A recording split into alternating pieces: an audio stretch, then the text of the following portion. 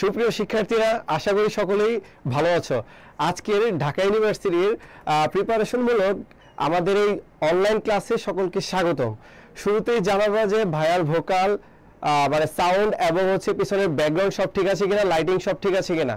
তো আমরা তোমাদের কমেন্টের জন্য ওয়েট করছি। আর যে যেখানে আছো, আমাদের এই লাইভ প্রোগ্রামটি লাইভ ক্লাসটি শেয়ার করে দাও নিজের প্রোফাইলে যেন কোনো বন্ধু ক্লাসটি মিস না করে যায়।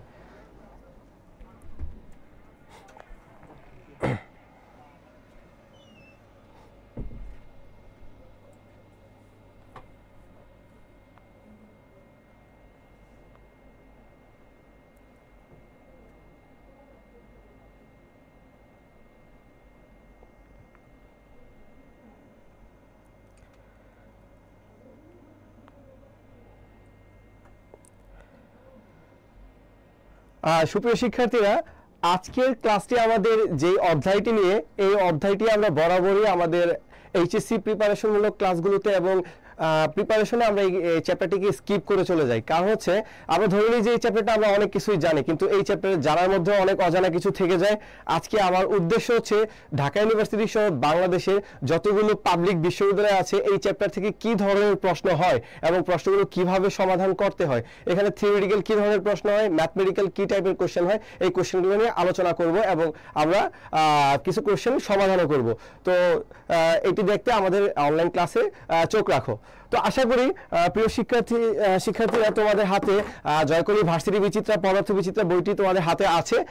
খুব দ্রুত বইটি ওপেন করে চলে যাওয়া হচ্ছে আমাদের বিশ্ববিদ্যালয়ের প্রিপারেশনমূলক ক্লাসে এবং হচ্ছে সবাই চোখ রাখো ঢাকা বিশ্ববিদ্যালয়ে টাইপ বেসিস কি ধরনের কোশ্চেন বিগত বছরে এসেছে? তো আমরা কিছু কোশ্চেন দেখব এবং টাইপ দেখব। ওই টাইপগুলো বইয়ের আকারে এখানে সাজানো আছে স্লাইডে তো আমরা হচ্ছে চলে যাব আমাদের মূল ক্লাসের মূল পর্বে। খুব দ্রুত তুমি তোমার প্রোফাইলে ক্লাসটি শেয়ার করে দাও।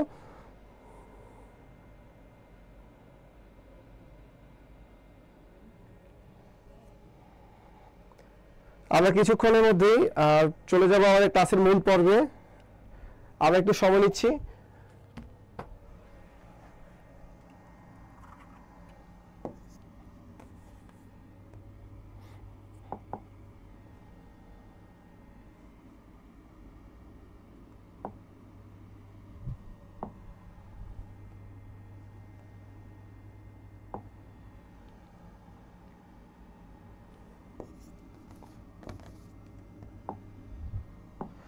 সুপ্রিয় শিক্ষার্থীরা, আজকে অধ্যায় নাম ইতিমধ্যে তোমরা জেনে গিয়েছো যে ভৌত জগত ও পরিমাপ, অর্থাৎ পদার্থবিজ্ঞানের প্রথম চ্যাপ্টার প্রথম পত্রের প্রথম চ্যাপ্টার তো আমরা এই চ্যাপ্টারের যে প্রথম টাইপটি সেটি হচ্ছে রাশি ও রাশির একক মাত্রা সম্পর্কিত সমস্যা। তো এখান থেকে বিগত বছরে বিশ্ববিদ্যালয়গুলোতে কি ধরনের প্রশ্ন হয়েছে এবং কীভাবে তাদের সমাধানগুলো করতে হয়, আমরা সেটি দিয়ে ক্লাসটি শুরু করছি। চলে যাচ্ছি রাশি। সুপ্রিয় শিক্ষার্থীরা ইতিমধ্যে তোমরা জানো ভৌত জগতে যা কিছু পরিমাপ করা যায় তাকে কি বলে? রাশি বলে। ফর এক্সাম্পল তোমার কাছে একটা টেবিল আছে। তো এই টেবিলটার তুমি কি কি মাপতে পারবা?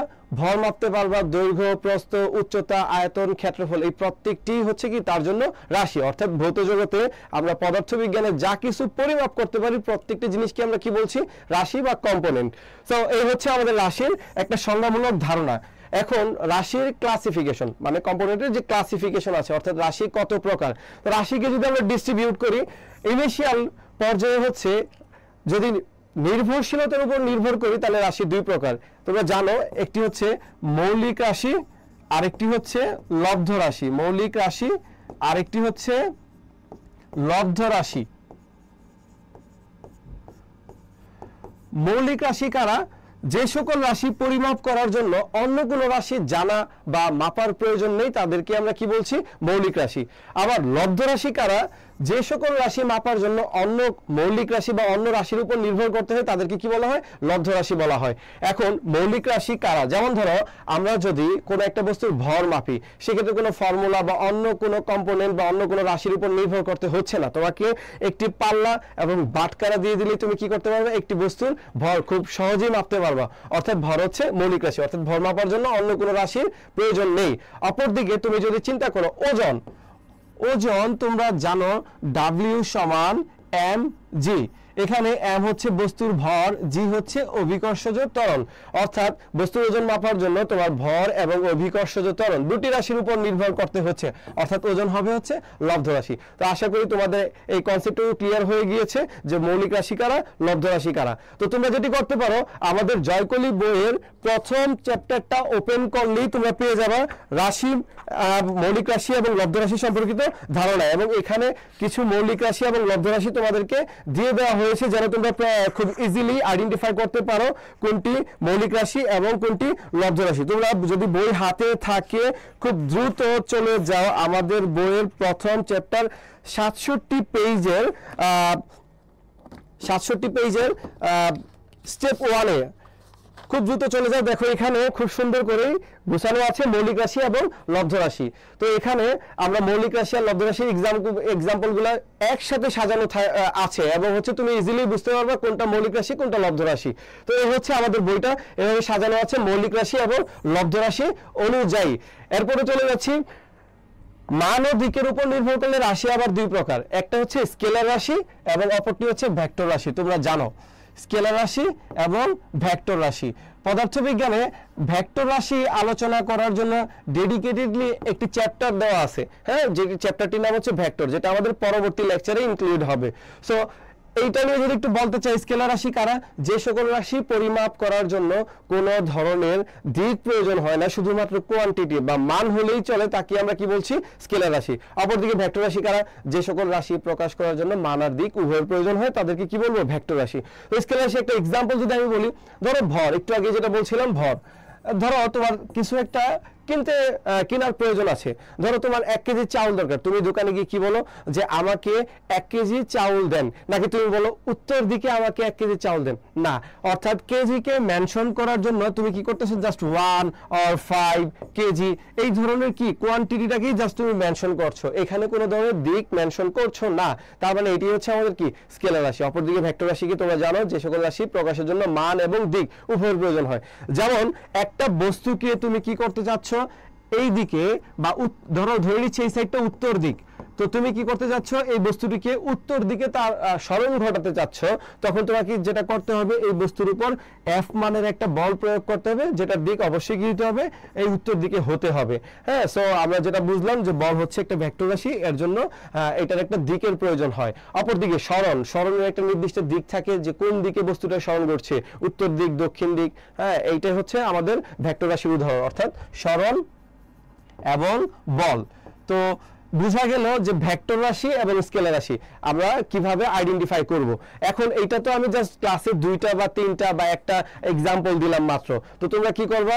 অবশ্যই এখনই চলে যাবা আমাদের পদার্থ বিচিত্রা যে বইটি আছে, পদার্থ বিচিত্রা বইয়ের এই স্টেপ ওয়ানে অর্থাৎ টাইপ ওয়ানের স্টেপ ওয়ান এখানে চলে গেলে দেখবা এখানে খুব সুন্দর করে বেসিক ইনফরমেশন আকারে খুব সাজানো আছে, খুব সুন্দরভাবে সাজানো আছে এবং খুব ছন্দের মাধ্যমে সুন্দর করে সাজানো আছে, যেখানে গেলে তোমরা খুব ইজিলি আইডেন্টিফাই করতে পারবে কোনটা ভেক্টর রাশি এবং কোনটা হচ্ছে স্কেলার রাশি।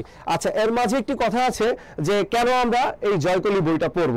দেখো ফর এক্সাম্পল পৃথিবীতে তো অনেক ভেক্টর রাশি আছে। তুমি কীভাবে শর্টলি বুঝবা যে এটা ভেক্টর রাশি? তো একবার হলেও এই ভেক্টর রাশিগুলো যদি চোখ বুলিয়ে যাও, পরীক্ষা হলে তোমার জন্য ইজি হবে আইডেন্টিফাই করাটা যে এইটাই ভেক্টর রাশি, এইটাই স্কেলার রাশি।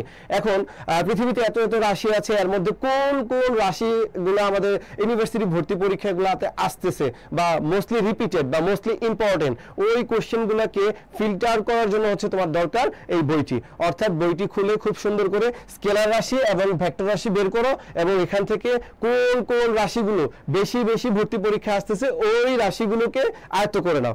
তো চলে যাচ্ছে আমরা আমাদের এই রাশি থেকে কি ধরনের প্রশ্ন লাস্ট ইয়ার বা প্রিভিয়াস ইয়ারগুলোতে এসেছে, আমরা ওই কোশ্চেনগুলো দেখে নিব এই পর্যায়ে।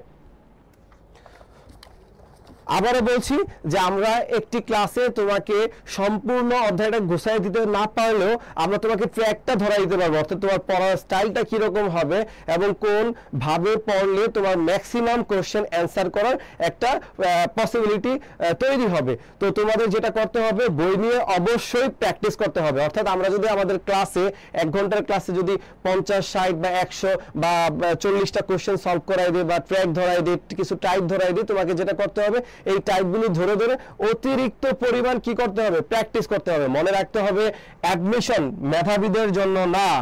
অ্যাডমিশন মেধাবীদের জন্য না। অ্যাডমিশনটা হচ্ছে কঠোর কঠোর পরিশ্রমী এবং হচ্ছে ধৈর্যশীলদের জন্য। তাহলে প্রচুর ধৈর্য রাখতে হবে। ধরো, এই রাশি নিয়ে ভাই আলোচনা করলাম। এখন তোমার যেটা করতে হবে, বই নিয়ে রাশি, যদি বইতে একশো কোশ্চেন থাকে, তোমার একশো কোশ্চেন একশো বার করে কি করতে হবে? রিভাইজ করতে হবে। বারবার পড়তে হবে। যেন পরীক্ষা হলে আসার মাত্রই কি করতে পারো তুমি? ডিরেক্টলি অ্যান্সার করতে পারো। থ্যাংক ইউ চলে যাচ্ছি প্রিভিয়াস ইয়ারে কোশ্চেনগুলোতে যেমন এখানে একটা কোশ্চেন দেখতে পাচ্ছি, রাজশাহী ইউনিভার্সিটি ইঞ্জিনিয়ারিং ডিপার্টমেন্টে দুই হাজার তেইশে চব্বিশ, অর্থাৎ লাস্ট ইমিডিয়েট সেশনে আমাদের এই কোশ্চেনটি এসেছে। নিচের কোনটি ভেক্টর রাশি? এখন ভাবতে পারো যে এই ধরনের প্রশ্ন ইঞ্জিনিয়ারিং ডিপার্টমেন্টে হয় হয়। এখানেই হচ্ছে আমাদের মানে একটা এক্সট্রা বেনিফিট যে আমরা থিওরিটিক্যাল কোশ্চেন পেয়ে যাব মানে এখান থেকে আমাদের টাইম কি হচ্ছে? সেভ হচ্ছে। এখানের টাইমটুকু আমরা কি করতে পারব? বড় কোনো ম্যাথমেটিক্যাল প্রবলেমে কি করতে পারব? অ্যাপ্লাই করতে পারব। আচ্ছা থ্যাংক ইউ চলে যাচ্ছি, নিচের কোনটি ভেক্টর রাশি? আশা করি এটা বলার প্রয়োজন নাই। কারণ দেখো, এখানে ভর। ভর কি? ভর একটু আগেই বললাম যে ভর মাপার জন্য শুধুমাত্র কোয়ান্টিটি হলেই চলে। আমাদের এনে কি? কোনো দিক নির্দেশের প্রয়োজন হয় না। ঘড়িতে এখন কয়টা বাজে বা কত মিনিট? এখানে কি আমরা দিক মেনশন করি যে উত্তর দিকে পাঁচটা বাজে বা সাতটা বাজে এরকম দিক মেনশন করি না। তাহলে সময়ও কি ভেক্টর রাশি? নয়। অপরদিকে ক্ষেত্রফল আর টর্ক। আচ্ছা একটু টর্ক সম্পর্কে যদি বলি, তোমরা নিউটনের বলবিদ্যা নিউটনিয়ান মেকানিক্সে খুব ভালো করে পড়েছে যে টর্ক হচ্ছে একটা ভেক্টর রাশি। টর্ক টাও সমান সমান R vector cross F vector. So এইটা হচ্ছে কি দুটো ভেক্টর রাশির কি ক্রস গুণন আর ক্রস গুণনের প্রাপ্ত রাশিটা একটা কি হয়? ভেক্টর রাশি হয়। তো এই হচ্ছে আমাদের টর্ক বা টাউ টাউ হচ্ছে তাহলে কি? ভেক্টর রাশি। আচ্ছা ক্ষেত্র বিশেষে ক্ষেত্রফলটা মাঝে মাঝে স্কেলার হয়, মাঝে মাঝে কি? ভেক্টর হয়। তো এখানে আমরা এটাকে স্কেলার ধরে সর্বোচ্চ গ্রহণযোগ্যতা পাচ্ছে হচ্ছে টর্ক। তার মানে অ্যান্সার হবে হচ্ছে টর্ক। তাহলে ভেক্টর রাশি কি? টর্ক। এখানে হচ্ছে ভেক্টর রাশি হবে আমাদের টর্ক। বড় স্টাইলেসটা আছে? তারপরে কোশ্চেন তো আচ্ছা এখানে একটু অ্যাড করি। দেখো, এখানে খুব সুন্দর করে জয়কলি বইতে তোমাকে সলভ শুধুমাত্র টর্ক ছাড়া আর কি কি ভেক্টর রাশি আছে, কি কি ধরনের ভেক্টর রাশি আছে এবং ভর্তি পরীক্ষা বারবার রিপিটেড হচ্ছে, এইটা কিন্তু খুব সুন্দর করে সাজানো আছে। দেখো ভেক্টর রাশির উদাহরণ, বল, বেগ, সরণ টর্ক চুম্বক ক্ষেত্র হ্যাঁ তড়িৎ ক্ষেত্র ইত্যাদি। স্কেলার রাশির উদাহরণ ভর সময়, দূরত্ব, কাজ, বিভব এবং দেখতেই পাচ্ছ এখানে খুব সুন্দর করে সাজানো আছে। তো এখানে এই সলভের মধ্যে এই কয়টা রাশি ছাড়াও, এই চারটা রাশি ছাড়াও এর বাইরেও কিছু কি? দেওয়া আছে স্কেলার রাশি এবং ভেক্টর রাশি আবারও বলছি, পদার্থ বিচিত্রা বইটাতে খুব সুন্দর করে ছক আকারে তোমার জন্য কি করা আছে? এই স্কেলার রাশি আর ভেক্টর রাশি গোছায় দেওয়া আছে। অর্থাৎ তোমার কাজ হবে কি? এখন শুধুমাত্র একটু চোখ বুলায় যাওয়া যে কোনটা স্কেলার রাশি, কোনটা ভেক্টর রাশি। প্লাস যদি পারো কারণ সহ যে কেন, ফর এক্সাম্পল টর্কটা কেন ভেক্টর রাশি হলো? যেমন ভাইয়া কি করলাম? যে এক্সপ্লেন করলাম টর্ক টাও ভেক্টর সমান কি? R vector cross F vector আর এখানে কি হচ্ছে? ক্রস গুণফল বা গুণন নীতি মেনে চলছে। যেহেতু ক্রস গুণন নীতি মেনে চলছে, তার মানে কি? দুইটা ভেক্টরের গুণন নীতি অবশ্যই কি হবে? ভেক্টর রাশি এই যে কারণটা তুমি জানলা, এইভাবে যখন এক্সপ্লেন করে পড়বা, তাহলে বাকি তিনটা কেন হইল না উত্তর সেটা কিন্তু তোমার জানা হয়ে গেল। আর এইভাবেই হচ্ছে কি আমরা খুব ইজিলি তাত্ত্বিক প্রশ্নগুলো সমাধান করতে পারব। তো যাই হোক, চলে যাচ্ছি পরের কোশ্চেনে দেখো, নিচের কোনটি লব্ধ রাশি? লব্ধ রাশি মানে হচ্ছে যেটাকে মেজার করার জন্য আমার কি করতে হবে? অন্য রাশির উপর ডিপেন্ড করতে হবে। এটাকে আমরা কি বলব? লব্ধ রাশি বলব। একটু আগে এক্সপ্লেন করলাম। দেখো, তাপমাত্রা মাপার জন্য আমার কি করতে হচ্ছে না? অন্য কোনো রাশি জানা দরকার হচ্ছে না। ভর মাপার জন্য অন্য কিছু জানা দরকার হচ্ছে না। সময় মাপার জন্য আমার কি অন্য কোনো রাশির দরকার হচ্ছে না। এখন দেখো, কম্পাঙ্ক। তোমরা জানো কম্পাঙ্ক F is equal to one by T T for time period so তোমার পর্যায়কালটা জানা থাকলেই তুমি কি করতে পারবা কম্পাঙ্কটা মেজার করতে পারবা। অর্থাৎ কম্পাঙ্ক পর্যায়কালের উপর নির্ভর করে। দ্যাটস দ্য রিজন আমাদের এই কম্পাঙ্ক কি হবে? লব্ধ রাশি হবে। অ্যান্সার হবে বি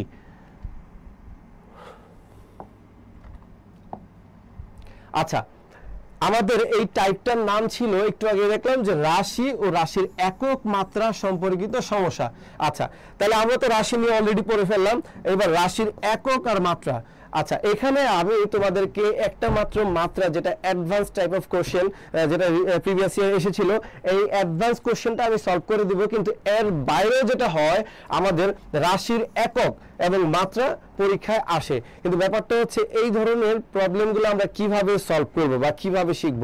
এগুলা জয়কলি ভার্সিটি বিচিত্রা বা পদার্থ বিচিত্রা বইটাতে খুব সুন্দর করে কি করা আছে চার টাকারে দেওয়া আছে। এর পাশাপাশি যেটা করা আছে, যে ধরো প্রত্যেকটা চ্যাপ্টারে individual for example Newtonian mechanics পড়ছি আমরা। তো, বা নিউটনের বলবিদ্যা পড়ছি। ওই নিউটনের বলবিদ্যা চ্যাপ্টারে যতগুলো রাশি আছে, ভরবেগ, বল, তারপর ত্বরণ সরণ বা আদার্স যা যা কিছু আছে, টর্ক, এই প্রত্যেকটা রাশির কি একক এবং মাত্রা খুব সুন্দরভাবে দেওয়া আছে। তার মানে বইটা খুললেই তুমি প্রত্যেকটা চ্যাপ্টারের প্রত্যেকটা রাশির ইন্ডিভিজুয়াল কি পেয়ে যাবা? একক মাত্রা পেয়ে যাবা। তো, এখানে আর আমরা আলাদা করে এই ফোর দিব না। এখানে এই ফোর দিলে আমাদের মাথায় থাকবে না। তার চেয়ে ভালো চ্যাপ্টার ওয়াইজ যখন আগাবো, প্রত্যেকটা চ্যাপ্টার থেকে কি কি ধরনের একক মাত্রা রিলেটেড প্রবলেম আসে পরীক্ষায়, ওই জিনিসগুলো আমরা আয়ত্ত করে ফেলব।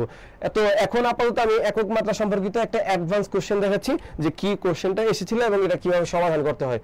যেমন এখানে হচ্ছে ঢাকা বিশ্ববিদ্যালয় সতেরো আঠারোর একটা কোশ্চেন এবং দেখতেই পাচ্ছ এখানে খুব সুন্দর করে বলা আছে A is equal to B to the power N C to the power M তো এখানে একটা শর্ত দেওয়া আছে তোমাকে।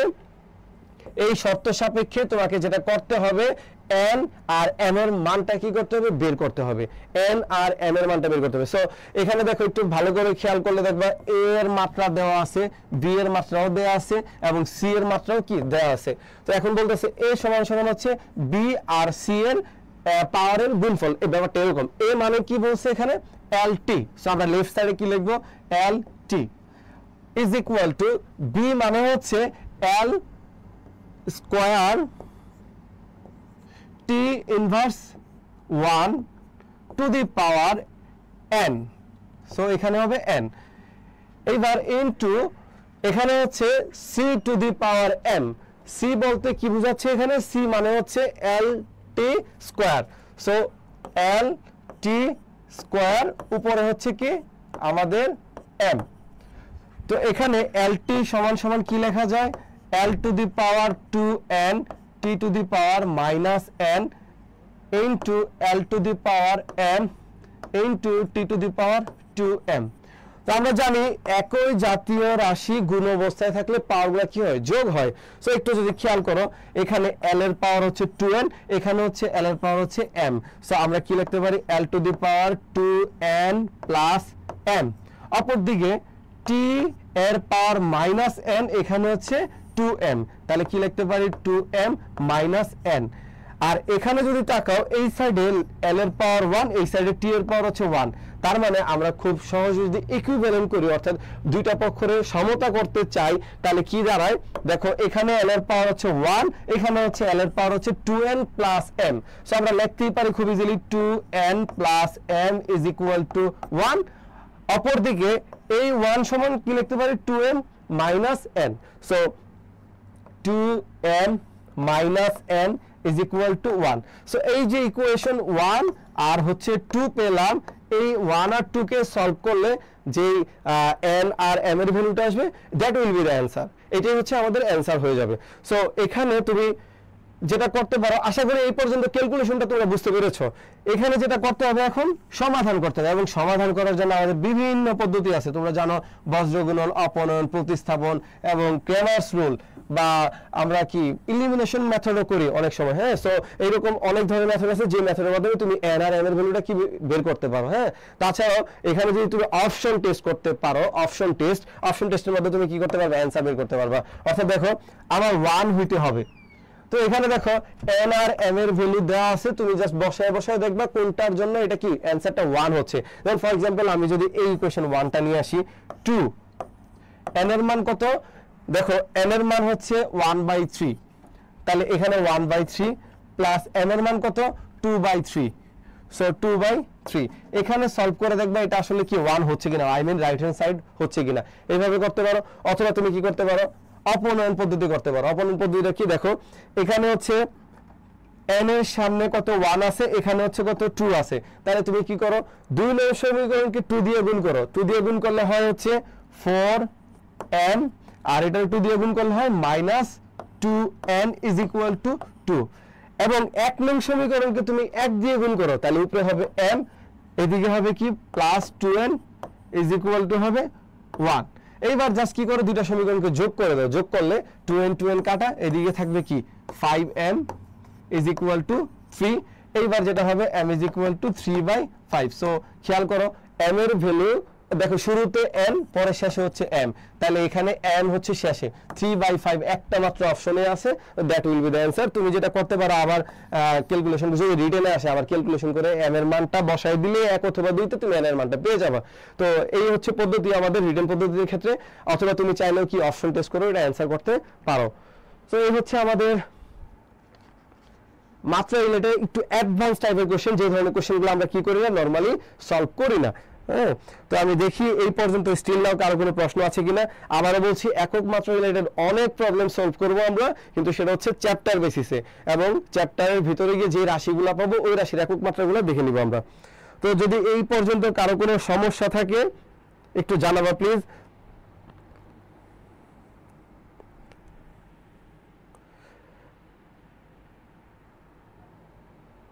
ওকে এখানে অনেকেই কোশ্চেন করেছে যে শর্টকাট কীভাবে কীভাবে করব স্যার তো শর্টকাটটা আগে কি বললাম, যে আমরা হচ্ছে অপশন টেস্ট করে কি অ্যান্সার বলতে পারব?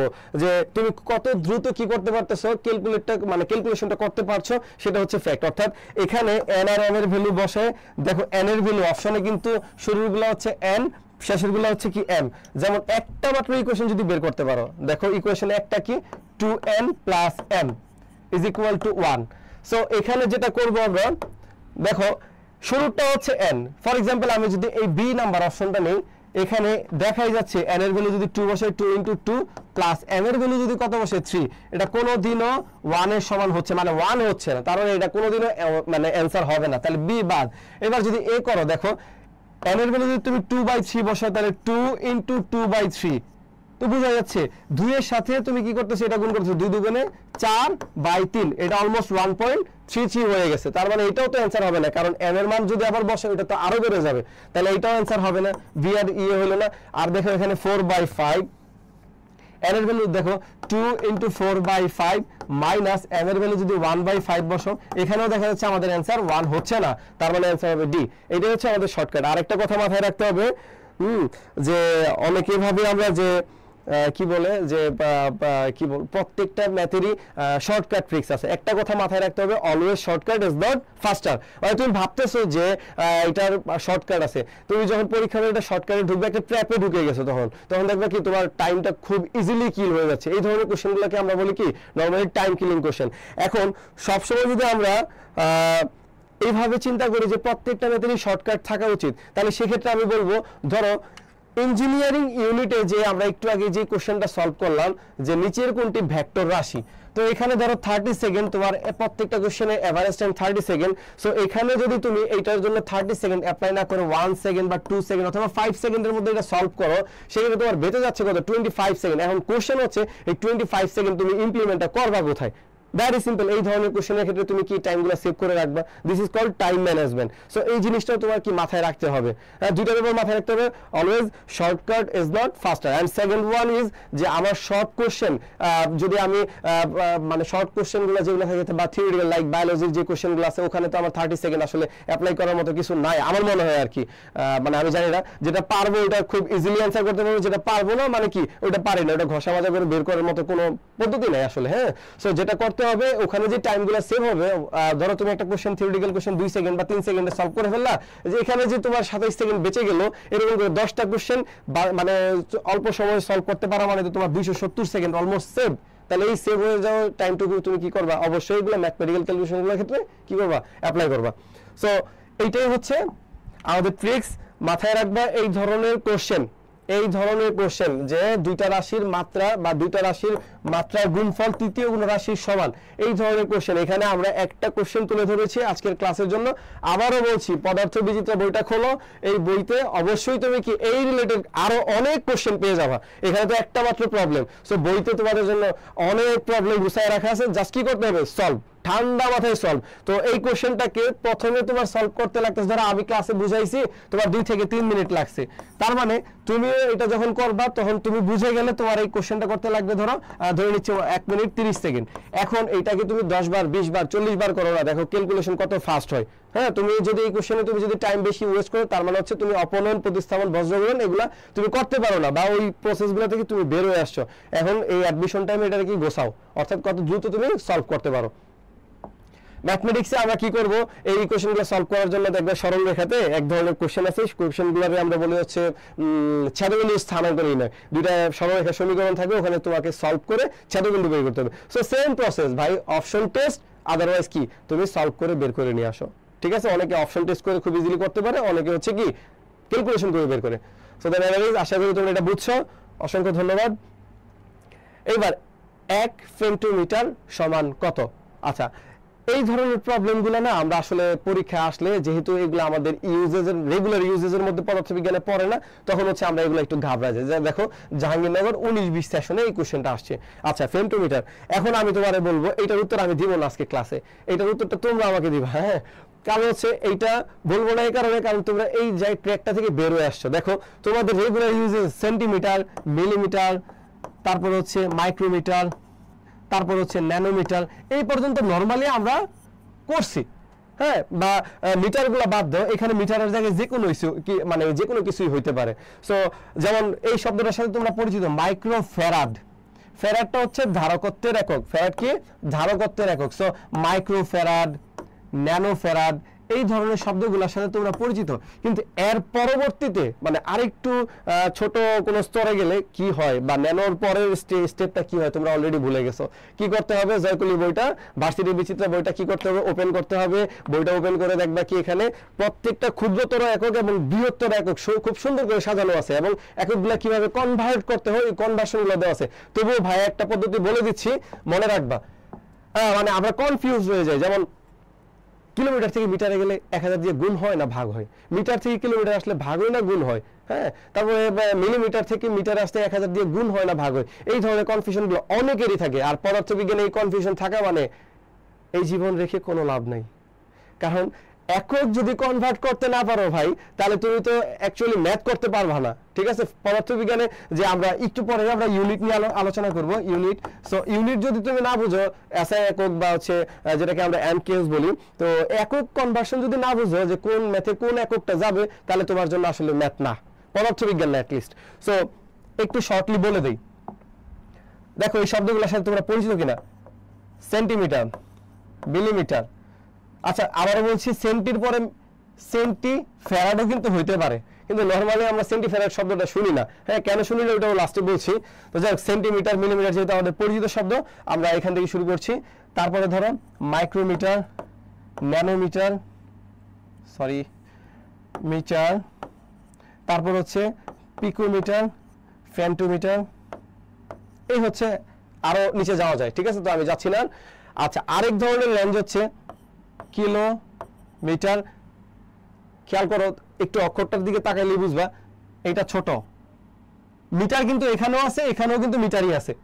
এখানে মিটারের আগের যে অ্যালফাবেটটা ওটা স্মল লেটার অনুরূপভাবে millimetre this is small letter also micrometre, এটা হচ্ছে Greek alphabet this is also small letter nanometre দেখতেই পাচ্ছ, এটাও কি স্মল লেটার পিকোমিটার ফ্যান্টোমিটার এগুলো সবই কি স্মল লেটার কিলোমিটার, মেগামিটার, একটু মেগামিটার, গিগামিটার।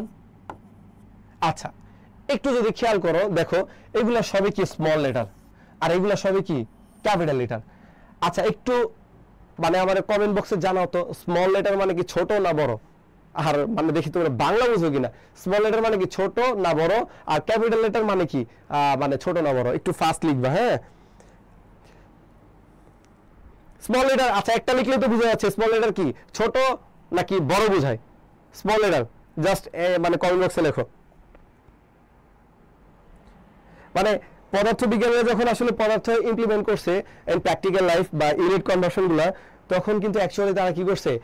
ভাষাগত মাধুর্যত চিন্তা ভাবনা করছে। অনেক কিছু চিন্তা ভাবনা করে তারা কিন্তু পদার্থবিজ্ঞান নিয়ে আলোচনা করছে। একটু জানাবা কমেন্ট বক্সে হ্যাঁ যে স্মল লিডার বলতে কি বুঝতেছো? মানে ছোট ভেরি গুড একজন লিখছে যে স্মল লিডার মানে ছোট। এটা কিন্তু আমরা সবাই জানি হ্যাঁ যে স্মল লিডার মানে ছোট।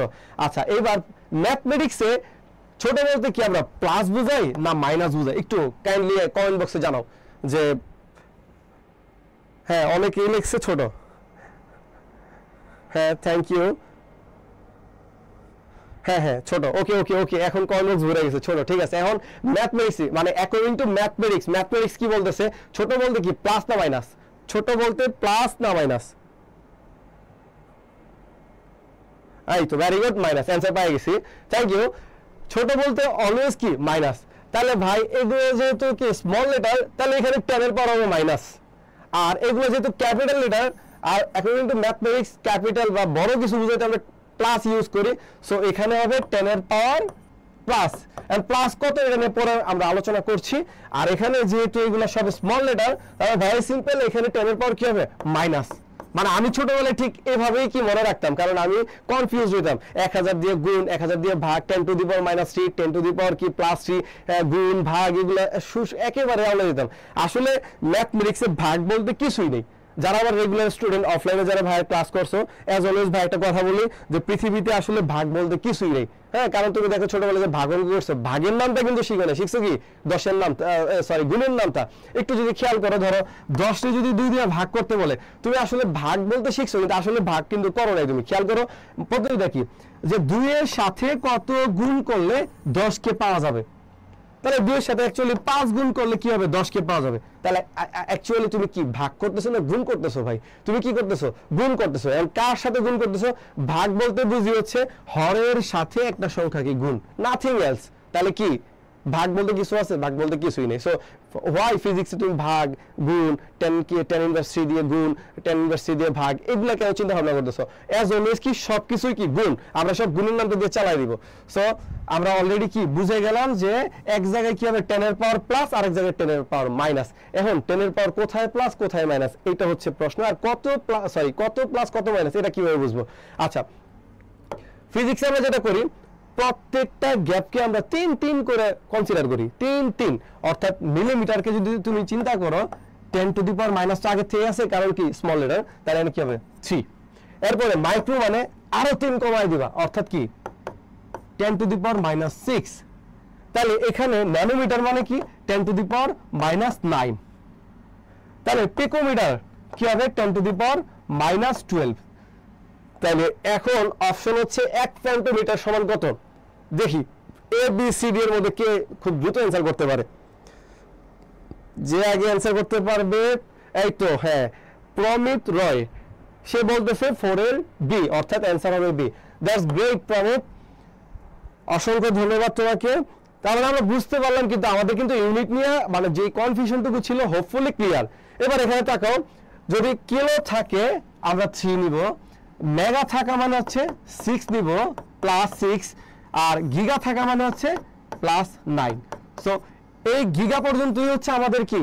ইন প্র্যাকটিক্যালি আমরা ব্যবহার করি। কিন্তু পদার্থবিজ্ঞান আসলে গিগা আমাদের খুব একটা ইয়ে হয় না ইমপ্লিমেন্ট হয় না। যদি কেউ প্রসেসর নিয়ে আমরা কি কাজ করি, বা হচ্ছে পদার্থবিজ্ঞানে বা কম্পিউটার সায়েন্স ইঞ্জিনিয়ারিংয়ে বা হচ্ছে ইলেকট্রিক্যাল ইঞ্জিনিয়ারিং ইঞ্জিনিয়ারিং আমরা কি প্রসেসর নিয়ে যখন পড়ি micro processor and embedded system এই ধরনের সিস্টেমগুলোতে আমরা একটা কমন শব্দ শুনতে পাই। সেটা হচ্ছে গিগাহার্স প্রসেসরের স্পিড কত?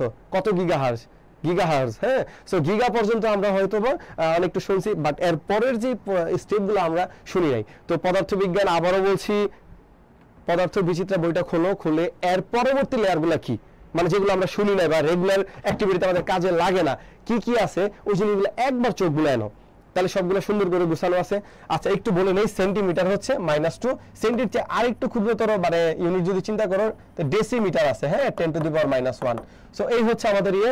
আর ন্যানো আর হচ্ছে পিকুর মাঝখানে একটা অ্যামস্ট্রং আছে। তো অ্যামস্ট্রং মানে হচ্ছে ten to the power minus ten just এই জিনিসগুলো মাথায় রাখো ইনাফ তো এই হচ্ছে আমাদের টোটাল কথাবার্তা। হোপফুলি তোমাদের এই ব্যাপারটা ক্লিয়ার বইটা খোলো, খুব সুন্দর করে বইতে দেখো, সুন্দর করে গোছানো আছে। সো মানে আমার আর বলার চেয়ে বইয়ে সব এক পলক দেখে নাও, দেখলে কি হবে, তোমার এই জিনিসটা মাথায় থেকে যাবে। এবং হচ্ছে পরীক্ষা যখন আসবে, আসলে দেখবে চমৎকার ভাবে কি করতে পারতেছো? অ্যান্সার করতে পারতেছো। এবার দশের কোন উপসর্গটি সবচেয়ে ছোট? খেয়াল করো।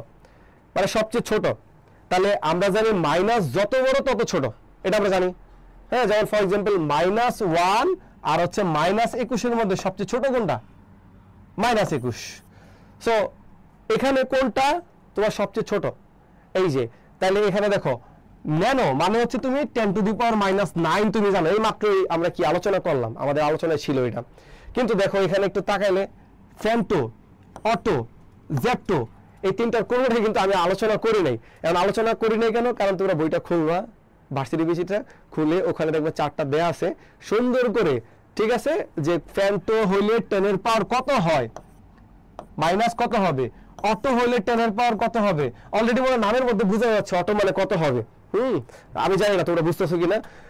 ন্যানো তো আমরা জানি আগে থেকে। এবার জ্যাপটো অটো আর ফ্যান্টো নিয়ে তোমাদের কনফিউশন সো এই জিনিসটা দেখবা। হ্যাঁ thank you already Sanjida Islam নামে একজন ফারহানা ইয়াসমিন নামে মানে অনেকেই লিখছে খুব সুন্দর করে যে অ্যান্সার হবে জ্যাপটো হ্যাঁ you are absolutely right zepto মানে হচ্ছে ten to the power minus twenty one এখন ব্যাপারটা হলো, যারা আগে থেকে জানে, তারা তো অ্যান্সার করতে পারছে। অথবা আমি ধরে নিচ্ছি ওদের সামনে বই আছে এই মুহূর্তে, বই থেকে দেখে তারা খুব ইজিলি অ্যান্সার করতে পারছে, চারটা দেখে যে ভাইয়া এটা অ্যান্সার হবে জ্যাপটো থ্যাংক ইউ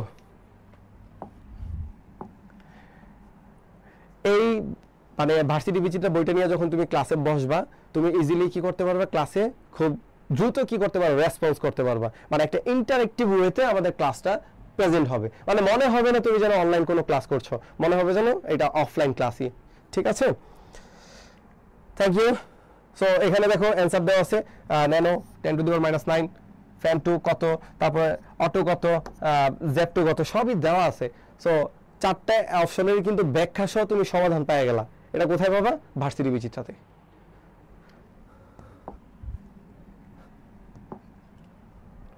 এইবার, পরিমাপের ত্রুটি ও পদার্থবিজ্ঞানের যন্ত্রপাতি। আচ্ছা এইবার পরিমাপের ত্রুটি নিয়ে একটু আলোচনার ব্যাপার সেবার আছে, সেটা কি?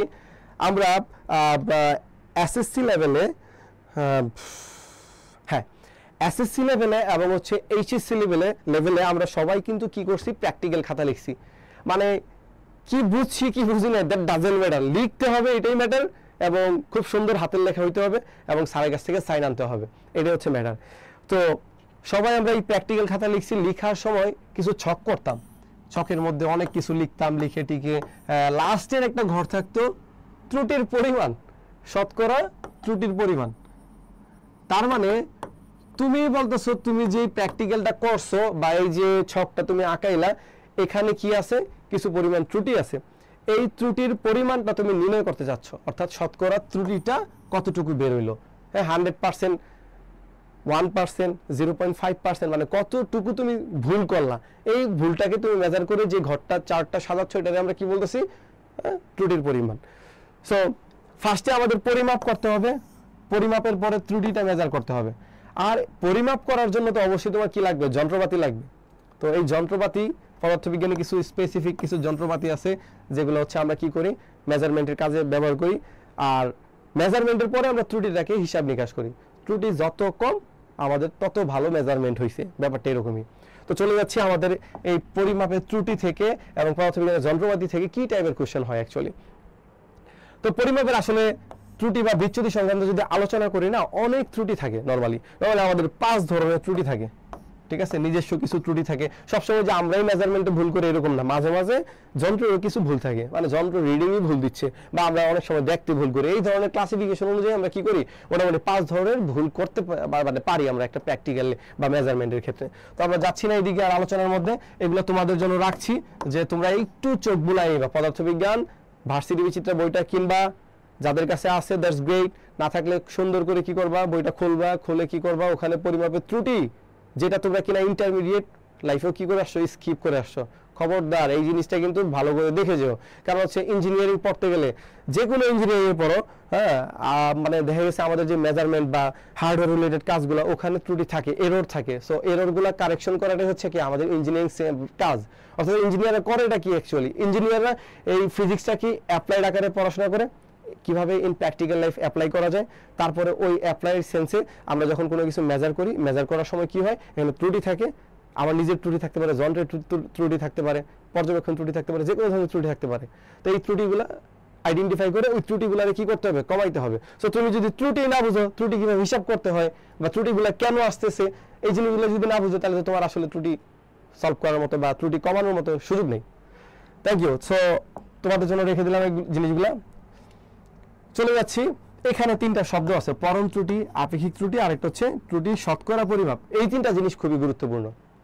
হুম, এই তিনটা জিনিস গুরুত্বপূর্ণ, যার কারণে হচ্ছে আমি কি করব? আলোচনা করে দিব এখানে।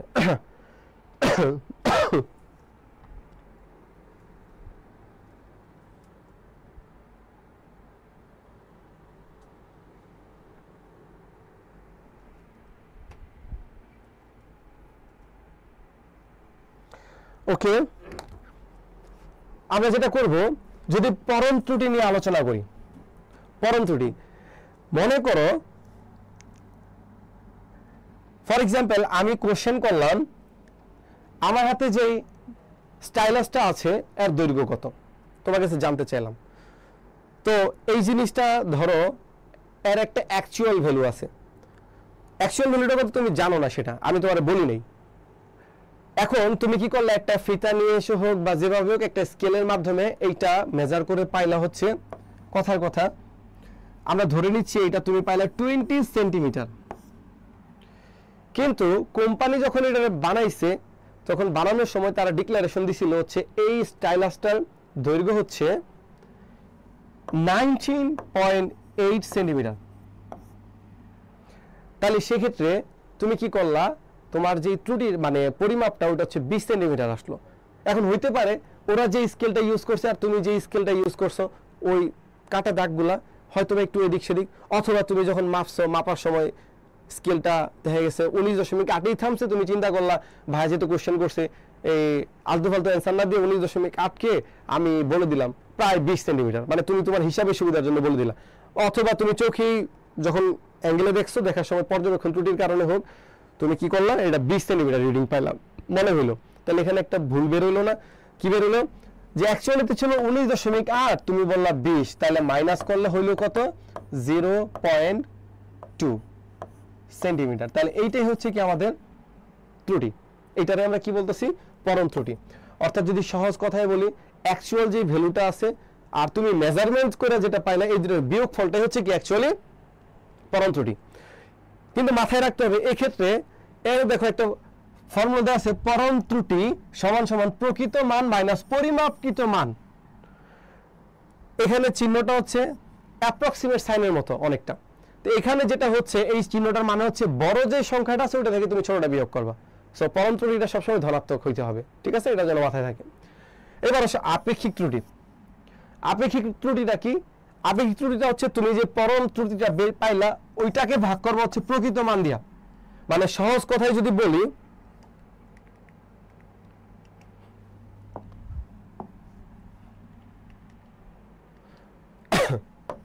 আপেক্ষিক ত্রুটি সমান সমান হচ্ছে পরম ত্রুটি। পরম ত্রুটি মানে হচ্ছে, ধরো অ্যাকচুয়াল যে ভ্যালুটা হবে actual value minus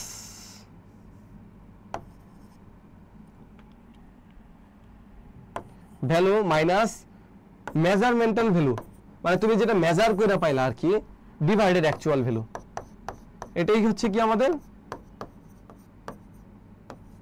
আমাদের আপেক্ষিক ত্রুটির ফর্মুলা ঠিক আছে? আর যদি তিন নম্বর যে শতকরা ত্রুটিটা আছে, এইটা মানে হচ্ছে শতকরা ত্রুটি মানে এটা জাস্ট আমরা হান্ড্রেড পার্সেন্ট দিয়ে গুণ করে দিব। এই হচ্ছে আমাদের তিনটা টপিক আবারও বলি, পরম ত্রুটি মানে কি? অ্যাকচুয়াল ত্রুটি আর মেজারমেন্টাল ত্রুটি, এই দুটোর বিয়োগফল। আর বড়টা থেকে ছোটটা বিয়োগ করব সবসময় আর যদি তোমাকে আপেক্ষিক ত্রুটি জিজ্ঞাসা করা হয়, তখন কি করবা? অ্যাকচুয়াল ভ্যালু মাইনাস মেজারমেন্টাল ভ্যালুকে ডিভাইড করবা কি দিয়ে? অ্যাকচুয়াল ভ্যালু দিয়ে। মানে যেটা প্রকৃত মান ছিল তার। আর শতকরা বলে জাস্ট ওইটা কি করব? হান্ড্রেড পার্সেন্ট দিয়ে মাল্টিপ্লাই করে দিবা। এই হচ্ছে আমাদের কি? টোটাল ত্রুটির ব্যাপার সেবার তো আমরা নর্মালি প্র্যাকটিক্যাল খাতা লেখার সময় আমরা হচ্ছে এই ত্রুটি শতকরা হারটা বা শতকরা ত্রুটির পরিমাণটাই আমরা কি করি? ক্যালকুলেট করি। ঠিক আছে? যাই হোক, এখানে আরও ত্রুটি আছে। যাই হোক, এই জিনিসগুলো আমাদের খুব একটা প্রয়োজন নেই। এবার চলে যাচ্ছি যন্ত্র। ব্যবহারিক কিছু যন্ত্রপাতি। তো অনেক যন্ত্রপাতির নাম আমরা জানি, শুনছি অনেকে হয়তো হাতে নিছিও, দেখছিও লেবে অনেকে আবার এমনও আছে, যারা হচ্ছে চার বছর সায়েন্সই পড়ছি। তো ইনশাআল্লাহ যন্ত্র দেখিও নাই, চিনিও না, কোনটা কি জিনিস, কীভাবে কাজ করে ওটাও জানি না। তো যাই হোক, আমাদের ক্লাসে যেহেতু পদার্থবিজ্ঞান আজকে অ্যাডমিশন ক্লাস ঢাকা ইউনিভার্সিটির প্রিপারেশনমূলক একটা ক্লাস এখানে তো আমাদের আসলে যন্ত্রপাতি কি তোমাকে পরীক্ষা হলে দিয়ে বলবে না একটা কোনো একটা বস্তুর দৈর্ঘ্য মাপো ব্যাসার্ধ মাপো আহ, এইরকম কিছু বলবে না। সো ম্যাথমেটিক্যাল প্রবলেমগুলো জানা থাকলেই হবে। তো দেখি আমাদের এখানে পদার্থবিজ্ঞানে কি কি যন্ত্র নিয়ে আলোচনা করে। স্টেরোমিটার নিক্তি স্লাইড ক্যালিপাস ভার্নিয়ার ধ্রুব সরি স্ক্রু এই হচ্ছে আমাদের কি মোটামুটি যন্ত্রপাতিগুলো নিয়ে পদার্থবিজ্ঞান আলোচনা করা হয়। এইসব যন্ত্রপাতির কিছু প্যারামিটার থাকে যেগুলো আমরা নির্ণয় করি। কিছু ম্যাথমেটিক্যাল প্রবলেম দেখব আমরা। পাশাপাশি যন্ত্রগুলো আমরা একটু এক পলক দেখে নিই। তো যারা এই যন্ত্রগুলোর নাম জানি না, তাদের জন্য হচ্ছে এই ছবিগুলো রাখছি একটু অ্যাট্রাকটিভ মানে দেখার জন্য অ্যাটলিস্ট কারণ তোমরা তো পদার্থবিজ্ঞান প্রথম প্রথম পত্র বইয়ের, এই প্রথম চ্যাপ্টারটা মানে অনেকেই আছে যারা খুলে দেখো নাই। ইভেন আমি যখন স্টুডেন্ট ছিলাম একাডেমিক লাইফে মানে আমারও খুব একটা খেয়াল নেই যে আমি আসলে কয়বার খুলছিলাম, বা আমি খুলছিলাম কি না আদৌ, এটাও আমার খেয়াল নেই। তো যাই হোক এখানে আসলে এটা হচ্ছে স্লাইড ক্যালিপার্স তো যারা হচ্ছে এখানে যদি ভালো না দেখতে পাও, তাহলে তোমরা কি করবা? এই যন্ত্রগুলোর নাম লিখে গুগলে সার্চ করলে ভালো ইমেজ পাওয়া যাবে। এটা হচ্ছে স্ক্রু গজ তো এই হচ্ছে আমাদের কাজ। তো এখন এখানে ম্যাথমেটিক্যাল কিছু প্রবলেম দেখি আমরা বলতেছি হচ্ছে একটি স্লাইড ক্যালিপাসের মূল স্কেলের নিরানব্বই ভাগ ভার্নিয়ার স্কেলের একশো ভাগের সমান, ভার্নিয়ার ধ্রুবকের মান কত? সো এই ধরনের প্রবলেমের ক্ষেত্রে স্কেল থাকবে হচ্ছে দুইটা। একটা হচ্ছে মূল স্কেল, একটু যদি দেখো, এই দেখো, এখানে হচ্ছে একটা মূল স্কেল বা রৈখিক স্কেল যেটা বলতেছি, আর একটা হচ্ছে ভার্নিয়ার স্কেল হ্যাঁ? তো এখানে দুইটা স্কেল থাকে, দুইটা স্কেলের দুইটা ঘর থাকে, এই দিকে কিছু ঘর থাকে, আবার মূল স্কেলেরও কিছু নির্দিষ্ট ঘর থাকে। তো এখানে ঘরের অবশ্যই কি? মানে একটার মধ্যে, দেখো কোশ্চেনটাতে কি বলছে? স্লাইড ক্যালিপাসে মূল স্কেলে কত? নিরানব্বই ভাগ যাবে, আর ভার্নিয়ার স্কেলে কত? একশো ভাগ যাবে। তাহলে সেক্ষেত্রে ভার্নিয়ার ধ্রুবকের মান কত? তো ভার্নিয়ার ধ্রুবকের ক্ষেত্রে তুমি যেটা করবা ওয়ান মাইনাস আমাদের যে মূল স্কেল আছে নিরানব্বই, কে ভাগ দিবা হচ্ছে ভার্নিয়ার স্কেলের যে ভাগ আছে, কত? একশো। তাহলে আমরা কি করব? জাস্ট এটাকে কি? লসাগু করলে আমাদের কি? অ্যান্সার চলে আসবে। অর্থাৎ লসাগু হচ্ছে কত? একশো একশো মাইনাস নিরানব্বই মানে হচ্ছে ওয়ান বাই একশো। তাহলে এটা আমরা টেন ইনভার্স টু লিখতে পারি অথবা জিরো পয়েন্ট জিরো ওয়ান এটাই answer zero point zero one অর্থাৎ অ্যান্সার এ এইবার যে প্রশ্নটি আমরা স্ক্রিনে দেখতে পাচ্ছি this is very very important question so একটু নোট ডাউন করে রাখো। এই কোশ্চেনটা খুবই important Rajshahi university C unit বিশ একুশে আসছে এবং ঢাকা বিশ্ববিদ্যালয়ে যদি এই চ্যাপ্টার থেকে আমাকে একটি মাত্র প্রশ্ন সিলেকশনের জন্য বলা হয় যে, ভাইয়া, আপনি একটা মাত্র কোশ্চেন সিলেক্ট করবেন। ধরো আমাকে প্রশ্ন করার একটা সুযোগ দেওয়া হলো যে, তারিকুল, তুমি এই চ্যাপ্টার থেকে একটা কোশ্চেন সাবমিট করতে পারবা। সো সেক্ষেত্রে হচ্ছে আমি এই কোশ্চেনটাকেই সিলেক্ট করব সবার আগে। অর্থাৎ বুঝতে পারতেছো যে যেহেতু ঢাকা বিশ্ববিদ্যালয়ে এই ইউনিটে কি হয়? ম্যাথমেটিক্যাল কোশ্চেনগুলো একটু বেশি হয়। তো সেক্ষেত্রে ম্যাথমেটিক্যাল কোশ্চেন সিলেক্ট করলে এই কোশ্চেনটাকে আমি সবার আগে সিলেক্ট করব। তার মানে হচ্ছে এটা খুবই গুরুত্বপূর্ণ। একটু দেখো, এখানে বলতেছে, একটি গোলকের ব্যাসার্ধ আর পরিমাপ করা হলো এত। এইটার ফিজিক্যাল মিনিংটা কি অ্যাকচুয়ালি এটার ফিজিক্যাল মিনিং হচ্ছে টেন ধরে নিচ্ছি ইউনিটটা সেন্টিমিটার বা কিছু একটা। হ্যাঁ ইউনিটটা আমরা ধরে নিলাম সেন্টিমিটার। যাই হোক অ্যাকচুয়াল ভ্যালু হওয়ার কথা হচ্ছে টেন বাট এনে plus minus zero point two এইটার মানেটা হচ্ছে, এটা নর্মালি কিন্তু প্র্যাকটিক্যালিও আমাদের বিভিন্ন জিনিস কিনতে গেলে আমরা মেজারমেন্টাল কোনো কিছু কিনতে গেলে লাইক লিকুইড বা হচ্ছে কোনো জিনিসপত্র কিনতে গেলে দেখবা হচ্ছে ইভেন একটা ছোট্ট ডিএসএলআই বক্স মানে ম্যাচের বক্স ওখানেও লেখা থাকে যে টোয়েন্টি প্লাস মাইনাস টু মানে কাঠির পরিমাণ। কাঠির পরিমাণ। মানে ওই বক্সটার ভিতরে যতগুলা কাঠি আছে, ওর কাঠির পরিমাণ টোয়েন্টি প্লাস মাইনাস টু এই কথাটার মানে হচ্ছে গ্রাহককে ওরা সচেতন করে দিচ্ছে যে, ভাই, আপনি যেহেতু ম্যাচের বক্সটা কিনছেন, ওখানে বিশটা কাঠি থাকার কথা। এখন দুইটা আপনি বেশিও পাইতে পারেন, আবার কমও পাইতে পারেন। মিনিংটা হচ্ছে এইটা। মানে বাইশটা পাইলেও রাগ করেন না, আবার আঠারোটা পাইলেও রাগ করেন না। মানে তারা আমাকে কি করছে? মানে কনসাস করছে। হ্যাঁ মানে সচেতন করছে। তো এইটাই হচ্ছে ম্যাটারটা তো এখানে এটার মিনিং হচ্ছে দশ হওয়ার কথা। এখন এইটা জিরো পয়েন্ট টু ধরো, ধরে নিচ্ছি একবার বেশি পাইলাম জিরো পয়েন্ট টু আর একবার কি কম পাইলাম। তার মানে এই জিরো পয়েন্ট টুটাই তো কি? এরর হওয়ার কথা টেন তুমি পাচ্ছ কত? জিরো পয়েন্ট টু বেশি, নাহলে কি জিরো পয়েন্ট টু কম? এইটা কি আমরা চাই? চাই না।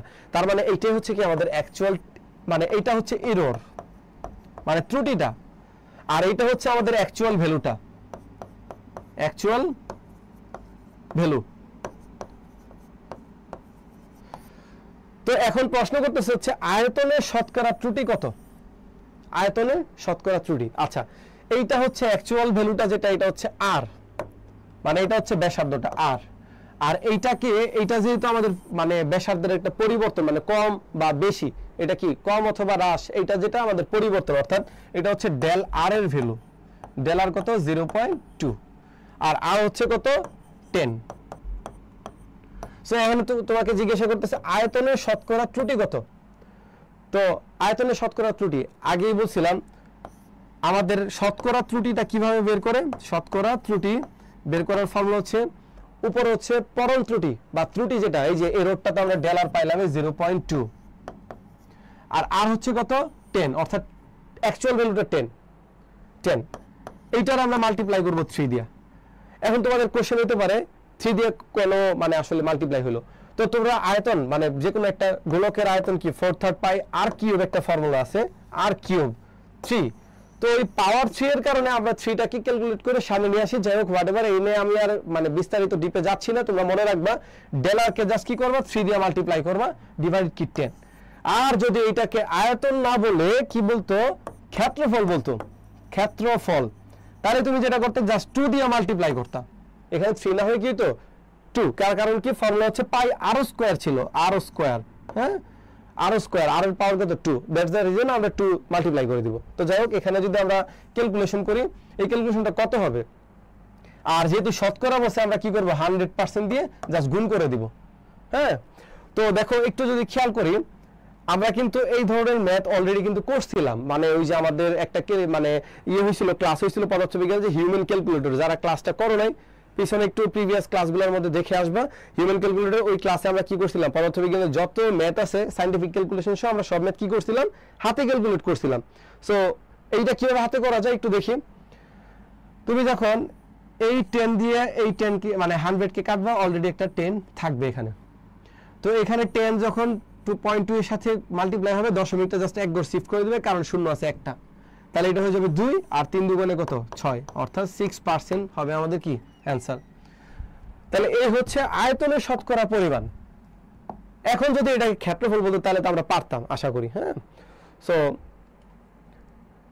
দেখো, এখানে একটা কোশ্চেন বলতেছে, পদার্থবিজ্ঞান ল্যাবে ল্যাবরেটরিতে সরল দোলকের সাহায্যে জি এর মান নির্ণয় করতে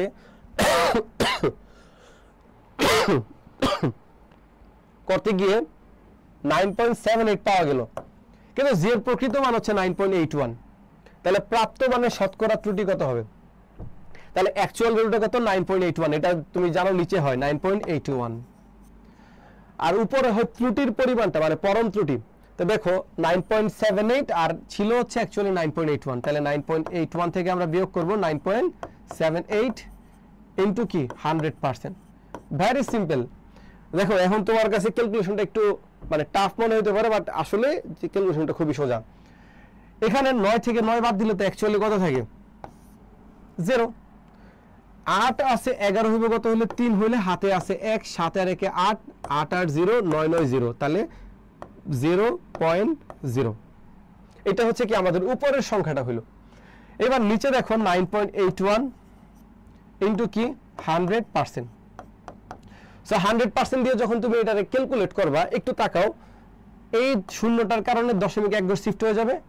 আরেকটা শূন্যের কারণে আরও ঘর শিফট হয়ে যাবে। মানে উপরে থাকবে হচ্ছে অ্যাকচুয়ালি কত থ্রি আর নিচে হচ্ছে নাইন পয়েন্ট এইট ওয়ান এইবার দেখো পার্সেন্ট কিন্তু রয়ে গেল আমাদের, এই পার্সেন্টটা রয়ে গেল।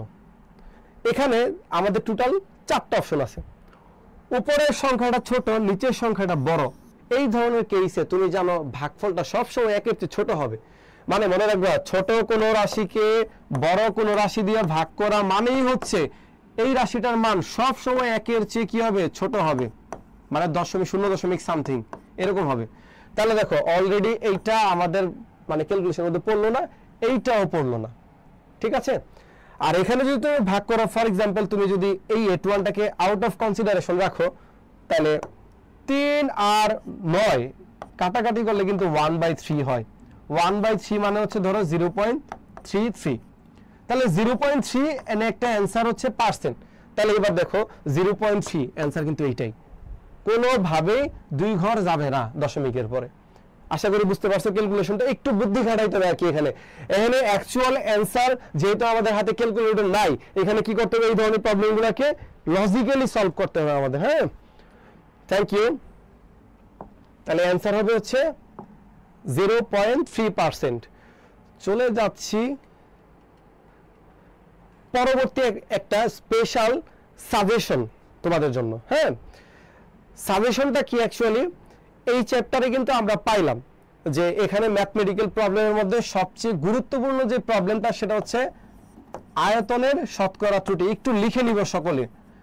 আয়তনের শতকরা ত্রুটি। সকলেই লিখব। এই সাজেশনগুলো অর্থাৎ প্রত্যেকটা ক্লাসের শেষেই তোমাদেরকে গুরুত্বপূর্ণ টপিকগুলো বলে দেওয়া হবে, ঠিক আছে? সকলেই একটু লিখব। এক, আয়তনের শতকরা ত্রুটি। প্রত্যেকটা ক্লাসের শেষে ঢাকা বিশ্ববিদ্যালয় কোন জায়গা থেকে প্রশ্ন করতে পারে এই চ্যাপ্টার থেকে ওই গুরুত্বপূর্ণ টপিকগুলো তোমাদেরকে বলে দেওয়া হবে। এবং চেষ্টা করব ওই ধরনের টপিকগুলো থেকে প্রিভিয়াস ইয়ারে কি ধরনের প্রশ্ন? ঢাকা বিশ্ববিদ্যালয় সহ বাংলাদেশের সকল পাবলিক বিশ্ববিদ্যালয়গুলোতে প্রশ্ন হয়েছে। ওই প্রশ্নগুলো সমাধান করে তারপরে পরীক্ষা হলে- যাওয়ার জন্য। এটা চেষ্টা করব সবসময়। তাহলে আয়তনের শতকরা ত্রুটি দুই, ক্ষেত্রফলের শতকরা ত্রুটি। ক্ষেত্রফলের শতকরা ত্রুটি।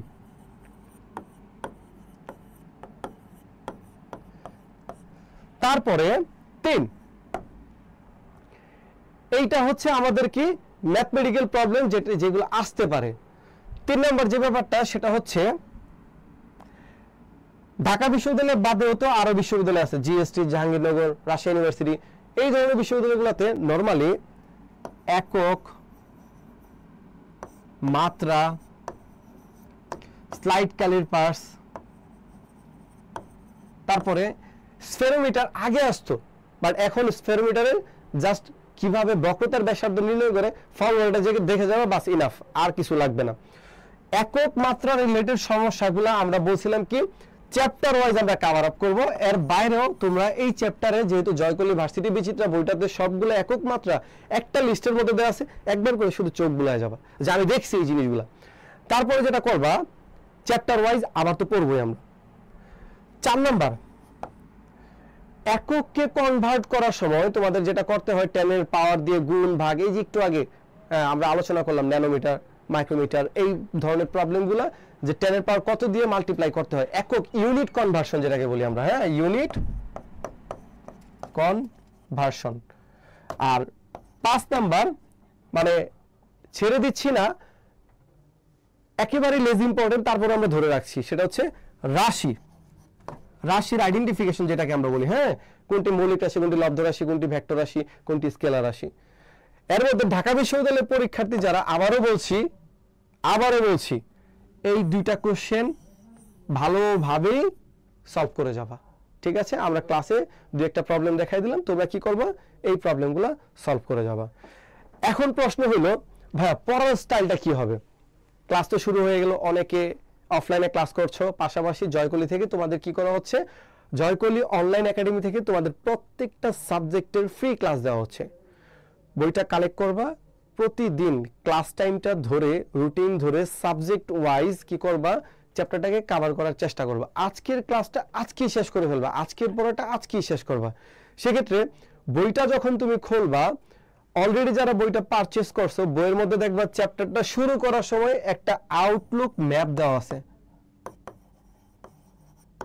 অর্থাৎ বইটাকে কীভাবে সাজানো হয়েছে?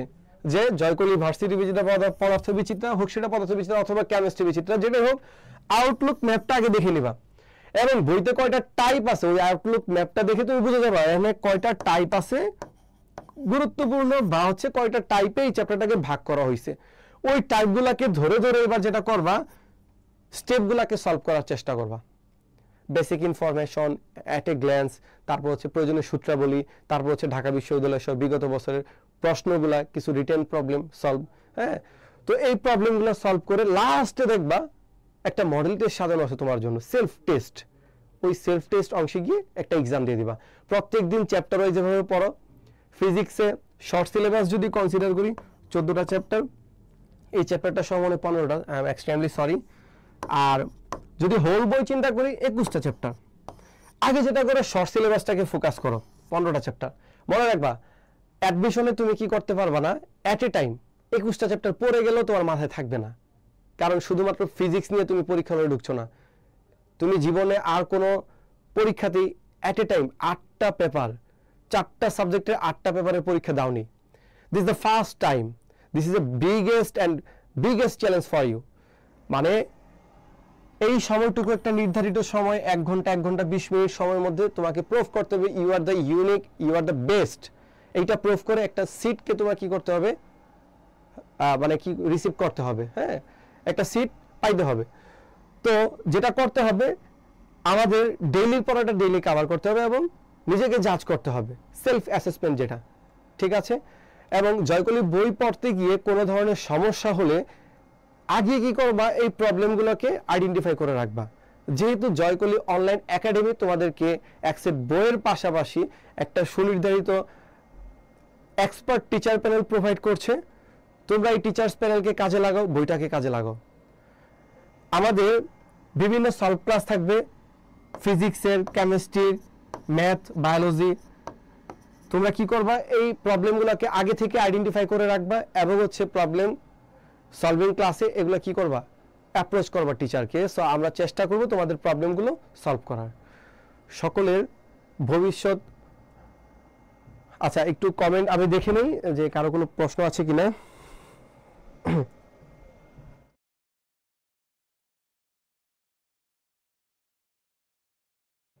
আচ্ছা হুম। এখন একজন প্রশ্ন করেছ সানজিদা ইসলাম স্যার, মেডিকেলের জন্য বললেন। আচ্ছা অ্যাকচুয়ালি একটা ব্যাপার খেয়াল করো প্রস্তুতি তুমি কোন সেকশন নিচ্ছ দ্যাট ডাজেন্ট ম্যাটার হ্যাঁ? কারণ হচ্ছে, তুমি হোক সেটা মেডিকেল কিংবা বুয়েট কিংবা ঢাকা ইউনিভার্সিটি বা পাবলিক কোনো ইউনিভার্সিটি তোমার কনসিডারেশন কিন্তু একটা জায়গায় আসছে, সেটা হচ্ছে কি, তোমাকে পড়তেই হবে। প্রথম কথা যেটা হচ্ছে, পড়তেই হবে তোমাকে হ্যাঁ?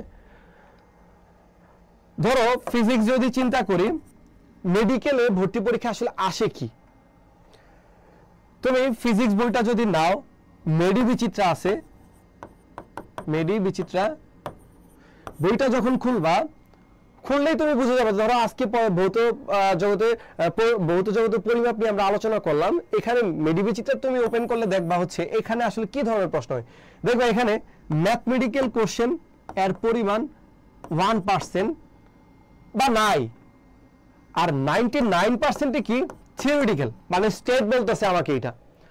অপরদিকে যখন তুমি ডিইউর জন্য ভার্সিটি বিচিত্রাটা ওপেন করবা, তখন ওপেন করলে তোমার চোখে পড়বে কি? অলমোস্ট এইটি ফাইভ পার্সেন্ট তোমার ম্যাথমেটিক্যাল প্রবলেম আর ফিফটিন পার্সেন্ট হচ্ছে কি? থিওরিটিক্যাল টাইপ অফ প্রবলেম এইবার তুমি যখন বুয়েট ইঞ্জিনিয়ারিং বিচিত্রাটা তুমি ওপেন করবা, দেখবা কি? ওখানে কোনো কথা নাই। Hundred percent math zero percent theory তাহলে ব্যাপারটা কি হলো? পদার্থ বিজ্ঞানকেই আমরা তিনটা পার্টে বা তিনটা মানে স্ট্যাটিস্টিকে ভাগ করলাম। এখানে দেখতে পাচ্ছি আমরা মেডিকেলে যারা পরীক্ষা দিবা ফোকাস নাইনটি নাইন পার্সেন্ট কিসে থিওরিতে আর ওয়ান পার্সেন্ট হচ্ছে তোমার ম্যাথমেটিক্যাল অপরদিকে ঢাকা ইউনিভার্সিটির জন্য তোমার কি করতে হবে? এইটি ফাইভ পার্সেন্ট ম্যাথমেটিক্যাল প্রবলেমের দিকে সলভ করতে হবে। থিওরিও কিছু জানা লাগবে। আর বইটার জন্য তোমার হান্ড্রেড পার্সেন্ট। তার মানে মেটাটা দাঁড়াইলো, যে যেখানে পরীক্ষা দেবে, বই তো একই জাস্ট প্রিপারেশনের ট্র্যাকটা ভিন্ন। তাহলে যে যেখানে কনসিডার করতেছে, যেমন মেডিকেলের কথা যে বললা, তার কনসিডারেশন থাকতে হবে এরকম যে এই চ্যাপ্টারের যত থিওরিটিক্যাল প্রবলেম আছে, আমি মেডিবি চিত্রা কিনে ওখানে থিওরিটিক্যাল প্রবলেমগুলো সব সলভ করে ফেলব। আর দুই একটা যে ম্যাথ আসে, ওই দুই একটা ম্যাথ জানা রাখব। অপরদিকে যে ঢাকা ইউনিভার্সিটি পরীক্ষা দিবে, সে সব ম্যাথমেটিক্যাল প্রবলেম সলভ করাটা জরুরি। থিওরিটিক্যাল জানা থাকতে হবে। অ্যাক্সিডেন্টালি যদি থিওরি চলে আসে, তখন কি করব? চোখ বুলায় যাওয়া অ্যাট এ গ্ল্যান্স যেটাকে বলে। আর বুয়েট, ভাই থিওরি পড়ার দরকার এটাই ঠান্ডা মাথায় খালি ম্যাথ সলভ করতে থাকে। এই হচ্ছে মেডিকেলের জন্য সাজেশন এবং হচ্ছে বুয়েট এবং হচ্ছে ঢাকা ইউনিভার্সিটির জন্য। আশা করি তুমি ক্লিয়ার আচ্ছা এখন শুধু এই ক্লাসগুলা করলে কি আমি চান্স পাবো? আচ্ছা খুব সুন্দর প্রশ্ন করলাম আসলে ধরো আজকে যে লেকচারটা ছিল ভৌত জগত পরিমাপ, আমরা যে লেকচারে আজকে যে প্রবলেমগুলো সলভ করাইলাম, আশা করি তুমি এই মানে সলভগুলো বুঝছ। এখন যেটা করতে হবে, আগেই বলছি ক্লাস শুরুর মাঝখানে বা হচ্ছে মাঝেও বললাম কথাটা, যে আসলে অ্যাডমিশন টেস্ট বা পাবলিক ইউনিভার্সিটি আসলে কোনো চরম মেধাবী কারোর জন্য না। চরম পরিশ্রমী আর চরম ধৈর্যশীলের জন্য। অর্থাৎ তোমাকে কিন্তু আমি একটা আউটলুক তৈরি করে দিলাম। জয়কুলি বইতে আউটলুক ম্যাপ তৈরি করে দেওয়া আছে। আমিও তোমাকে বলে দিলাম অলমোস্ট সাজেশনে দিয়ে দিলাম, কি ধরনের প্রশ্ন আসতে পারে। এবার তোমার যেটা করতে হবে, ওই যে বোর্ডে যেই কথাগুলো লিখে দিছি, যে টাইপগুলো লিখে দিছি, ওই টাইপগুলোর উপর কত কোশ্চেন তুমি সলভ করতে পারো দ্যাটস এ বিগ ডিল অ্যাডমিশনে কতগুলো চ্যাপ্টার তুমি পড়লা that's not a big deal মানে তুমি কতগুলো চ্যাপ্টার শেষ করলা, এইটা ইম্পর্টেন্ট না। ইম্পর্টেন্ট হচ্ছে একটা চ্যাপ্টারকে তুমি কতবার পড়লা? এবং ইম্পর্টেন্ট চ্যাপ্টারকে কতবার তুমি রিভিশন দিলা? ঢাকা বিশ্ববিদ্যালয় কোন জায়গা থেকে প্রশ্ন করে, একুশটা চ্যাপ্টারের গুরুত্ব তো সমান না। যদি পনেরোটা এমসিকিউ থাকে, তোমার বইতে তো একুশটা চ্যাপ্টার আছে। এখানেই তো তোমার স্টেট বলে দিচ্ছে, প্রত্যেকটা চ্যাপ্টার থেকে ভাই কোশ্চেন হবে না। তাহলে কোন চ্যাপ্টার থেকে বেশি কোশ্চেন হয়, ওই চ্যাপ্টারগুলোরে তুমি কি বেশি শেষ করো? একজন একুশটা চ্যাপ্টার পড়ে গেছে আরেকজন ঢাকা বিশ্ববিদ্যালয়ে যেই চ্যাপ্টারগুলো বেশি আসে, ওই চ্যাপ্টারগুলোর একুশ বার করে রিভিশন দিয়ে গেছে। তাহলে যে বেশি রিভিশন দিল, সে জয়ী হবে ভাই। কারণ তার মাথায় বেশি থাকবে, একটা লেয়ার তৈরি হয়ে যাবে। তো যাই হোক, প্রশ্নের উত্তর হচ্ছে, শুধু এই ক্লাসগুলো করলে কি তুমি চান্স পাবা? অবশ্যই না ভাই। এই ক্লাসগুলো করলে তুমি শুধুমাত্র ক্লাস করলেই তুমি কি চান্স পাবা না? তোমাকে যেটা করতে হবে ক্লাস ধরে ধরে প্রচুর প্র্যাকটিস করতে হবে, প্রচুর ধৈর্যশীল হতে হবে। এক মিনিটে বারবার বারবার করতে হবে। ওই যে কথা একটাই, কয়টা চ্যাপ্টার করলে ওইটা ইম্পর্টেন্ট না, কতবার একটা চ্যাপ্টারকে শেষ করলে এইটা important thank you Sanjida Islam class শেষ হ্যাঁ ভাইয়া ক্লাস শেষ অলমোস্ট তারপরে আলী আহসান স্যার মেডিকেলের জন্য তো আলাদা ক্লাস আছে, এখানে কেন মেডিকেল বিষয়ে আলোচনা হবে? ভাই, আসলে সাজেশন চাওয়ার সময় তো ওপেন সোর্স আসলে এখানে কোনো সাইট থেকে কোনো কোশ্চেন করতেই পারে যে কেউ, কারণ সে হয়তো মেডিকেলের ব্যাপারটা জানতো না, এটা আসলে কোনো ম্যাটার না। যাই হোক যাই হোক আর কোনো কোশ্চেন স্যার জিপিএ এর মার্ক কি কবে? আচ্ছা এটা নিয়ে আসলে না মানে আমরা কোনো ধরনের কনফ্লিক্টে যেতে চাচ্ছি না। আসলে জিপিএ এর কারণে মার্ক সরি জিপিএ এর মার্ক কি কমাবে আচ্ছা জিপিএ টিপি আসলে কি হবে, না হবে, কতটুকু মার্কস কমবে? তোমরা জানো যে ইউনিভার্সিটি ভর্তি পরীক্ষা আসলে শুধু যদি রিকোয়ারমেন্টটা ফুলফিল করতে পারি, তার চেয়ে বড় কিছু নেই আসলে। মানে এখানে জিপিএ এর কারণে যে মেডিকেলের মতো খুব বেশি মার্ক ফল করে যায়, ব্যাপারগুলো এরকম না। সো জিপিএ এর চিন্তা না করে, চিন্তা করো কীভাবে একটা মার্ক বেশি তোলা যায়। অর্থাৎ পরিশ্রম করে কীভাবে মার্ক তোলা যায়। হ্যাঁ? সো এখানে জিপিএ নিয়ে কি হবে, এটা নিয়ে মানে আমরা নোটিশ না পাওয়া পর্যন্ত আসলে বলতে পারছি না। কারণ ইউনিভার্সিটি যেহেতু স্বতন্ত্র ইউনিভার্সিটি তারা চাইলেই যে কোনো মুহূর্তে, যে কোনো সিদ্ধান্ত কি করতে পারে চেঞ্জ করতে পারে। এখন যদি তারা বলে দেয়, আট পাইলেই বা সাত পাইলেই তুমি পরীক্ষা দিতে পারবা মানে I have nothing to say here so এখানে আসলে আমরা জিপিএ নিয়ে চিন্তা করব না। জিএসটির জন্য বলেন স্যার অলরেডি বলে ফেলছি স্যার, যে কি বলেন জিএসটি ইউনিভার্সিটি সব জায়গায় একই রকম। চিন্তা ভাবনা যে আমাদের ম্যাথমেটিক্যাল প্রবলেম বেশি সলভ করতে হবে থিওরিক্যাল প্রবলেম জানা রাখতে হবে অ্যাট এ গ্ল্যান্স যেটাকে বলে। হোয়াট ইজ ডাইন ডাইন হচ্ছে বলা একক আসলে। তো এটা আমরা নিউটনের বলবিদ্যা যখন পড়ব, নিউটনের মেকানিক্স ওখানে আমরা আলোচনা করব। Sanjida Islam thank you sir you are most welcome Sanjida সকলকে অসংখ্য ধন্যবাদ আমাদের ক্লাসটি অনলাইন ক্লাসটিতে জয়েন করার জন্য। আশা করি পরবর্তী ক্লাসগুলোতে তোমরা অ্যাক্টিভ থাকবে এবং এই ধরনের কোনো প্রশ্ন থাকলেও ক্লাসে বা অনলাইন ক্লাসে যে টিচার থাকবে, তাকে কোশ্চেন করবে। আশা করি তোমরা উত্তর পেয়ে যাবা। সকলকে অসংখ্য ধন্যবাদ। আমাদের ক্লাসের অলরেডি এন্ডিং টাইমে চলে আসছি, মোহাম্মদ তাহসিন রায়ান। স্যার, আমার নামটা নেন। ঠিক আছে? বাবা, তোমার নামটা নিলাম। পরে ক্লাসে জয়েন করে সবাই। সবাই ভালো থাকবা।